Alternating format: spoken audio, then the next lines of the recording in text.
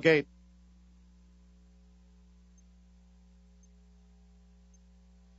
Off they go. Ocean Rose, Rolling Sea, Brickly Bear, Eternal Sunshine at the end of 110 yards. Ocean Rose in the white, red, and blue going out to the front.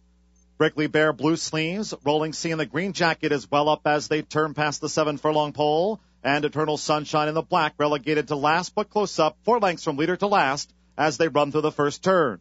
Shane Laviolette and Ocean Rose at the head of affairs. Robbie Albarado has the odds on gamble. Rolling Sea right there in a position to strike at the rail. Brickly Bear with apprentice Joe Talamo and Eternal Sunshine with Emma Jane Wilson last of the quartet.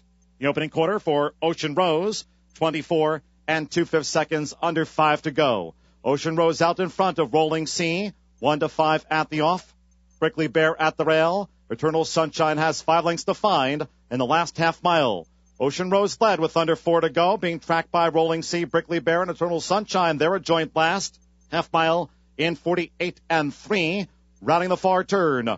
Ocean Rose trying to stay the distance with Rolling Sea just sizing her up. Eternal Sunshine now a clear third.